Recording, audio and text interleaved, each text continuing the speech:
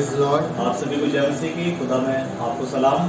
प्रभु का धन्यवाद हो आज के इस सुंदर समय के लिए आज के इस वक्त के लिए जो खुदावन ने आपके और मेरे जीवन में इस वक्त को ठहराया ताकि हम एक साथ एक मन होकर एक चित्र होकर प्रभु की आराधना करने वाले हालेलुया। जब हम सच्चे दिल से परमेश्वर को पुकारते हैं उसका धन्यवाद करते हैं तो उसकी सुंदर उपस्थिति हमारे बीच में होती है। हालेलुया। Hallelujah. परमेश्वर के कलाम में भी लिखा है कि परमेश्वर ऐसे आराधकों को ढूंढता है जो आत्मा सच्चाई से उसकी आराधना करते हैं आइए कुछ समय के लिए अपनी आँखों को बंद करेंगे और प्रार्थना करेंगे। थैंक गॉड थैंक पिता परमेश्वर प्रभु जी, आपका धन्यवाद यीशु खुदावन, इस सुंदर समय के लिए पिता परमेश्वर, जो आपने हमारे जीवन में दिया पिता परमेश्वर। वो न पाए खुदावन, एक बार फिर से हम तेरी हम तो सताइस करने पर पिता परमेश्वर। खुदा रूप प्रत्येक के जीवन को मैं तेरे समक्ष रखता हूँ, पिता। परमेश्वर जब हम आराधना करते हैं, पिता परमेश्वर, चाहते हैं तेरी सुंदर उपस्थिति यहाँ पर होने पाए पिता आराधना करने वाले हम नहीं पिता परमेश्वर, वरन तेरा आत्मा यहाँ पर होने पाए पिता हम तुझको आमंत्रित करते हैं, पिता परमेश्वर। हर एक बात में, पिता परमेश्वर, हम तुझको आदर करते हैं, पिता परमेश्वर। तेरी महिमा और तेरी जयकार पिता परमेश्वर। आज के इस मुबारक वक्त के लिए तेरा धन्यवाद। यीशु मसीह आराधना के हर एक भाग को यीशु मसीह हम तेरे समक्ष रखते हैं। यीशु मसीह के नाम पे तमाम पर मांगते हैं। आमीन। आइए गीत को तरह परमेश्वर की महिमा देंगे। उसकी महिमा करो बंधन टूट जाएँगे। मेरा यीशु मौजूद है यहाँ उसकी महिमा करो बंधन टूट जाएँगे।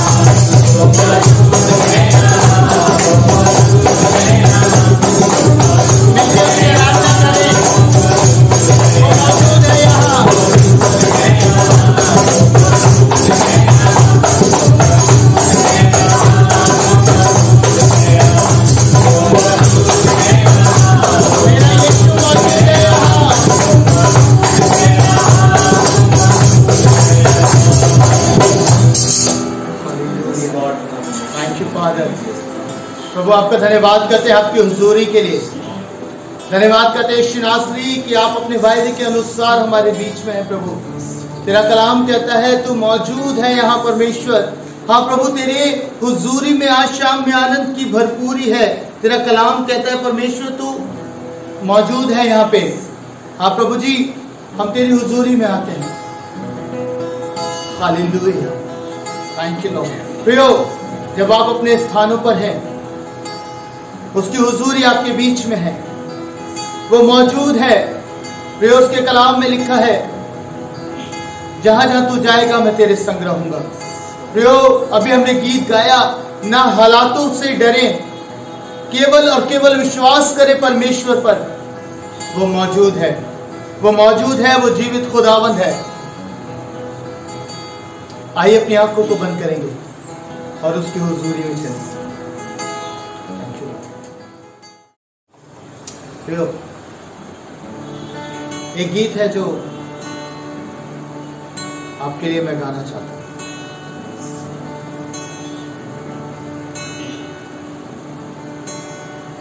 खुदा पाक रूह,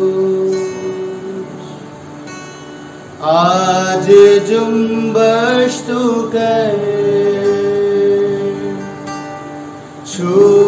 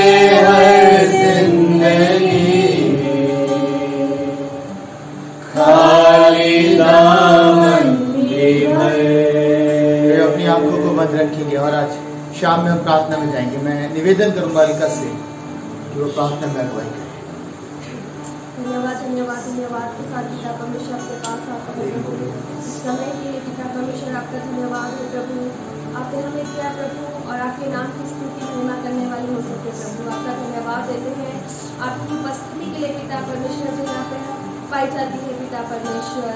हाँ पिता परमेश्वर, आपका धन्यवाद देते हैं।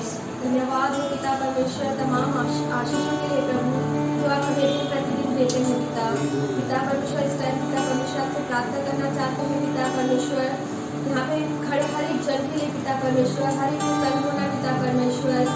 प्रार्थना करना चाहते हैं पिता परमेश्वर, आपके दास के लिए प्रभु, जब वो आपके वचन को लेकर हमारे बीच में आते हैं आप पिता परमेश्वर, उनके बोलिए पिता परमेश्वर।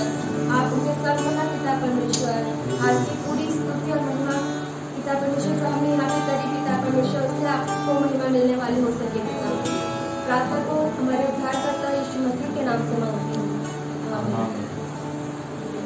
हालेलुया। परमेश्वर पिता का धन्यवाद करता हूँ एक बार फिर से प्रियो कि उसने एक बार फिर से आपसे रूबरू होने का मौका दिया। धन्यवाद करता हूँ अच्छी आराधना के लिए कि परमेश्वर ने एक बार फिर से हमसे अपनी आराधना को लिया। प्रियो, ये एक खूबसूरत बात है कि परमेश्वर ने हमें आज के दिन तक बना के रखा है। सच में एक नया महीना और एक नया समय प्रभु ने हमें दिया है प्रियो, कि हम इस नए वर्ष, नए महीने में प्रवेश करने पा रहे हैं, क्योंकि ये उसका अनुग्रह ही है। सच में प्रभु के लोगों कितने ऐसे जीवन है जो आज के दिन तक नहीं पहुँच पा रहे जिन्होंने आज का दिन नहीं देखा, हमें प्रभु का धन्यवाद करना चाहिए कि उसने हमें आज के दिन तक बना के रखा है। आइए प्रभु के वचन में चलते हैं और वचन से पढ़ने के लिए निकालिएगा दूसरा क्रंथियो और उसका चार अध्याय और चार पद। प्रभु का वचन इस प्रकार से कहता है, प्रियो, और उन अविश्वासियों के लिए जिनकी बुद्धि इस संसार के ईश्वर ने अंधी कर दी है, ताकि मसीह जो परमेश्वर का प्रतिरूप है, उसके तेजो में सुसमाचार का प्रकाश उन पर ना चमके। हालेलुया। प्रिय प्रभु का वचन कहता है कि उन अविश्वासियों के लिए जिनकी बुद्धि संसार के ईश्वर ने अंधी कर दी है, कि परमेश्वर के सुसमाचार का तेज उनके ऊपर न चमके। प्रियो ये बड़ी अद्भुत सी बात है। आज बहुत सारे जीवन ऐसे हैं जो परमेश्वर के सुसमाचार पर विश्वास नहीं कर पा रहे हैं, जो कहीं ना कहीं अपने जीवन में धोखे का शिकार हो गए हैं, क्योंकि शैतान ने उनके मन में एक झूठ को पैदा कर दिया है, एक झूठ उनके सामने रख दिया है कि यीशु मसीह का सुसमाचार उनके जीवनों में जगह नहीं पा रहा है। वो देख नहीं पा रहे सत्य को वो समझ नहीं पा रहे, वो उस बात को जान नहीं पा रहे कि यीशु मसीह इस पृथ्वी पर क्यों आए। यीशु मसीह ने मेरे और आपके लिए किया क्या?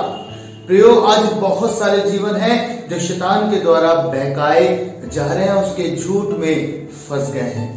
प्रियो, परमेश्वर कलाम बताता है, यमुना रचित सुसमाचार उसके आठ अध्याय और उसके चवालीस पद में प्रभु की कलाम में लिखा है, प्रियो, कि शैतान तो आरंभ से ही हत्यारा है, वो झूठ बोलता है, वो अपने स्वभाव से झूठ बोलता है, क्योंकि वह झूठा है वह झूठ का पिता है।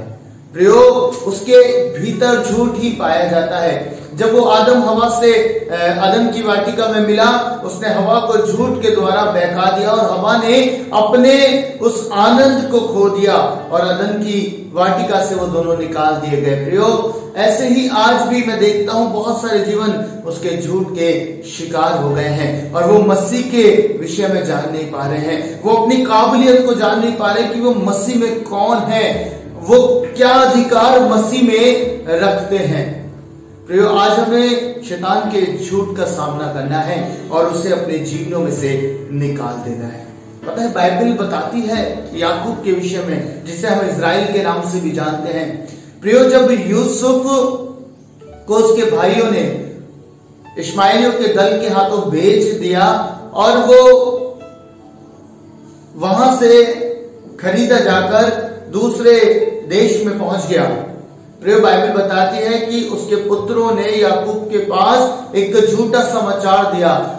याकूब के रंग बिरंगे अंगरखे को लेकर उन्होंने लहू से भिगोया और अपने पिता के पास जाकर कहने लगे कि ये देख, पहचान ले, क्या ये वस्त्र तेरे पुत्र का है या नहीं है? और बाइबल बताती है प्रयोग कि याकूब ने इस बात पर विश्वास कर लिया कि हाँ उसका पुत्र मारा गया है। मुझे इस बात ने थोड़ा सा व्याकुल किया प्रयोग क्योंकि याकूब परमेश्वर के साथ चलने वाला जन था, वो परमेश्वर से बातचीत किया करता था। जब उसे ये बात पता चली कि यूसुफ मर गया है, अर्थात उसके बच्चों ने उसे रिप्रेजेंट किया कि हाँ यूसुफ मर चुका है। जबकि उसके बेटे जानते थे, वो इस सत्य को जानते थे कि यूसुफ को उन्होंने इस्माइलियों के दल के हाथों बेच दिया है। फिर भी उन्होंने वो झूठ बोला अपने पिता से और उनके पिता ने उस झूठ पर भरोसा किया। पता है, याकूब का जीवन इस बात से टूट गया। बाइबल बताती है, मेरे प्रियो, कि याकूब बहुत रोया, बहुत विलाप किया और वो बहुत ज़्यादा बेचैन हो गया। बाइबल में लिखा है कि उसका चित्त फिर ठिकाने पे नहीं रहा। जब तक जब तक कि उसने उस सत्य को नहीं जाना कि यूसुफ जीवित है। प्रयोग मुझे इस बात ने हैरान इसलिए किया कि याकूब ने परमेश्वर से क्यों नहीं जानने का प्रयास किया कि यूसुफ जीवित है या नहीं है, या यूसुफ मर गया है। उसने एक बार भी प्रार्थना करने की कोशिश नहीं करी। उसने एक बार भी शायद नहीं जानने की कोशिश करी कि मैं परमेश्वर से पूछूँ, मैं परमेश्वर से बात करूँ। क्या ये हो सकता है कि मेरे बेटी को जंगली जानवरों ने फाड़ दिया है, उसे मार डाला है? पर वचन बताता है कि उसने उस झूठ की प्रतीति करी और उस झूठ के कारण से उसका जीवन, जो आनंद से भरा हुआ जीवन था, अब वो दुख और पीड़ा में बीतने लगा। परमेश्वर कलाम में लिखा है, प्रियो, कि वो बहुत उदास जीवन जीने लगा, बहुत दुख में रहने लगा, क्योंकि उसने झूठ की प्रतीति करी। आज भी बहुत सारे जीवन ऐसे हैं, प्रियो, जो झूठ की प्रतीति कर रहे हैं, जो शैतान के द्वारा कही गई बातों को मान लेते हैं, ग्रहण कर लेते हैं। बहुत सारे जवान बच्चों को जब मैं देखता हूँ, प्रियो, वो इस बात की प्रतीति कर लेते हैं। शैतान उनके मन में इस बात को डाल देता है कि हाँ अब उनके पाप क्षमा नहीं हो सकते। वो उनके मन में डाल देता है, तुमने तो बहुत अपराध कर लिया, तुम कैसे प्रभु के सामने जा सकते हो? तुम कैसे अपने जीवन को शुद्ध कर सकते हो? प्रियो और वो इस झूठ की प्रतीति करते हैं। वो सत्य तक पहुँच नहीं पा रहे। वचन कह रहा है कि ईश्वर ने, संसार के ईश्वर ने उनकी आँखों को अंधा कर दिया कि जो सुसमाचार जो ये कहता है ईश्वर से हमारे लिए मारे गए, हमारे लिए गाड़े गए और हमारे लिए जी उठे। प्रियो अद्भुत बात है। यीशु मसीह ने मेरे और आपके लिए दुख सहा है। ये पीड़ा सही है ताकि वो मुझे और आपको आज़ाद कर सके, झूठ से आज़ाद कर सके, पीड़ा से आज़ाद कर सके। दुष्ट ने जो हमारे ऊपर बंधन बाँध दिया है झूठ का, उससे हमें आज़ाद कर सके। प्रिया मुझे और आपको आज़ाद होने की आवश्यकता है। हमारी सोचों में उसने बैठा दिया है, शैतान ने कि हाँ हम क्षमा को नहीं पा सकते। हाँ हमने गुनाह किया है और हम प्रभु से दूर हो गए हैं। अब हमारा मिलाप परमेश्वर से हो नहीं सकता। प्रिय और बहुत सारे जीवन इस कारण से और पाप और पाप और पाप में गिरते चले जा रहे हैं। आज मैं आपसे कहना चाहता हूँ, प्रियो, आज इस सत्य को जानने की आवश्यकता है। जो प्रभु ने कहा, प्रभु के वचन में लिखा है, तुम सत्य को जानोगे और सत्य तुम्हें स्वतंत्र कर देगा। आज हमें सत्य को जानने की आवश्यकता है। प्रियो, अद्भुत बात है। मैंने एक कहानी को पढ़ा। प्रयोग उस कहानी ने मुझे बहुत आनंद दिया। मैं जब वो बुक पढ़ रहा था, जिसमें एक कहानी लिखी, जिसमें एक तोते के विषय में उन्होंने बताया कि एक जगह है जहाँ पे जब वो तोता पालते हैं तो मालूम है वो तोते को पिंजरे में नहीं रखते, वो तोते को कैद नहीं करते। अजीब सी बात है तोता उड़ता नहीं है। ना वो उसके परों को काटते हैं, फिर भी तोता उड़ता नहीं है, वो उसी स्थान पर उनके घर में ही रहता है। मालूम वो करते क्या है? जब मैंने उस कहानी में पढ़ा तो उसमें बताया गया था, वो जब वो छोटे से तोते के बच्चे को लेके आते हैं, जब वो पैदा ही होता है, वो उसे लेके आते हैं और वो उसके एक पाव में एक महीन सा धागा बाँध देते हैं। एक महीन सा धागा बांधते हैं और उसे एक लकड़ी से जोड़ देते हैं। और जब तोता उड़ने का प्रयास करता है तो होता यह है, वो कोशिश करता है, वो उड़ नहीं पाता। और ऐसा वो दो साल तक लगातार करते हैं। या और कुछ समय तक करते हैं। और पता है, उस किताब के भीतर लिखा था कि जब वो दो साल तक ऐसा करते हैं तो तोते के मस्तिष्क में, तोते की सोच में ये आ जाता है कि अब वो जीवन भर उड़ नहीं पाएगा। फिर वो महीन धागे को काट देते हैं और उस तोते को ऐसे ही छोड़ देते हैं। और उस कहानी में लिखा था कि वो तोता उड़ता नहीं है। वो शायद अपनी सोच में ये बैठा चुका होता है कि मैं उड़ नहीं सकता। प्रियो, ऐसा ही मेरे और आपके साथ होता है।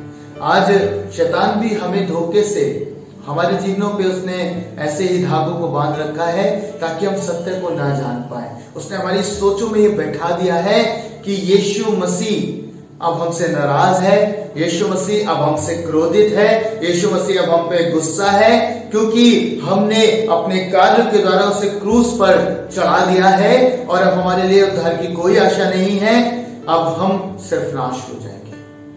प्रिय, ऐसे झूठ को आज हमें नकारना है।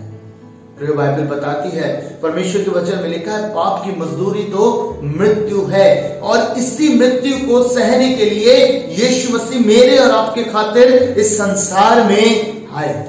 प्रिय, क्योंकि सबने पाप किया था और उसकी महिमा से रहित हो गए थे, और उस पाप की कीमत थी मृत्यु, और इसलिए यीशु मसीह संसार में आए।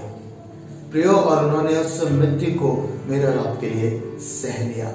पर ये मृत्यु इसलिए थी ताकि उसके बच्चे आज़ाद हो जाएँ, ताकि उसके लोग आज़ाद हो जाएँ, उस बंधनों से जो शैतान ने हमारे ऊपर बाँध के रखा है, जो हमें ये बताता है कि हमारे पाप क्षमा नहीं हो सकते, जो हमें इस गिल्ट में डालता है कि हमने बहुत अपराध किया और हम प्रभु के साथ मेल नहीं कर सकते। प्रियो क्रूस इस बात का प्रतीक है कि यीशु मसीह ने सारे गुना, सारे पाप अपने ऊपर ले लिए ताकि उसके बच्चे आज़ाद हो जाएँ और हमारा मिलाप परमेश्वर के साथ हो जाए। प्रियो, ये हमारे लिए आनंद की बात है और पवित्र आत्मा ये सत्य हम पर रिवील करते हैं। पवित्र आत्मा हमें बताते हैं कि हम अब हम परमेश्वर की संतानें हैं। प्रियो, हमें उसके झूठ को नकार देना है अपने जीवनों से। हमें मना करना है, उसका इनकार करना है। चाहे हमने कैसे भी अपराध किए हो, प्रियो, लेकिन पवित्र आत्मा हमें अपराधों के प्रति कायल करते हैं। ये अंतर है। दुष्ट हमें बताता है, शैतान हमें बताता है, तुमने अपराध किया है और तुम परमेश्वर के पास नहीं जा सकते। वो हमें उसकी संगति से दूर करता है। पर पवित्र आत्मा हमें कायल करते हैं। जब हम अपराध करते हैं, जब हम गुनाह करते हैं पाकरू हमसे कहते हैं, बेटा, तुमने गलती करी है। बेटा, तुमने गुनाह किया है। बेटा, तुमने पाप किया है। क्षमा मांगो और प्रभु के साथ अपने संबंध को बेहतर करो। प्रियो, यही अंतर है। यही अंतर है। शैतान नहीं चाहता कि हम परमेश्वर को जाने। वो नहीं चाहता कि हम परमेश्वर के उस सत्य को जाने। जो उसने क्रूस पर हमारे लिए किया है। उसके सुसमाचार तक हम पहुँच पाए कि यीशु मसीह हमारे लिए मारे गए गाड़े गए और जी उठे। पता है, यूसुफ और क्राइस्ट को जब मैं देखता हूँ तो मुझे बहुत समानता लगती है। वो सिंबॉलिकली यूसुफ मुझे क्राइस्ट के रिप्रेजेंटेशन में दिखाई देते हैं। कितनी खूबसूरत बात है।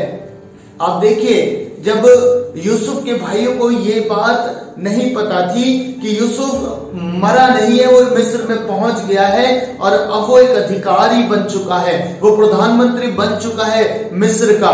और जब ये अनाज के लिए वहाँ जाते हैं और जब वो इन बातों को इनके ऊपर प्रकट करता है, पता है इसके भाई भी दोष में जी रहे थे। इसके भाई भी दोष में थे कि हमने तो इसे घात होने के लिए दे दिया था, पर ये अब हमें मार डालेगा। अब यूसुफ हमें मार डालेगा, वो अपना बदला लेगा। पर पता है, यूसुफ ने क्या कहा?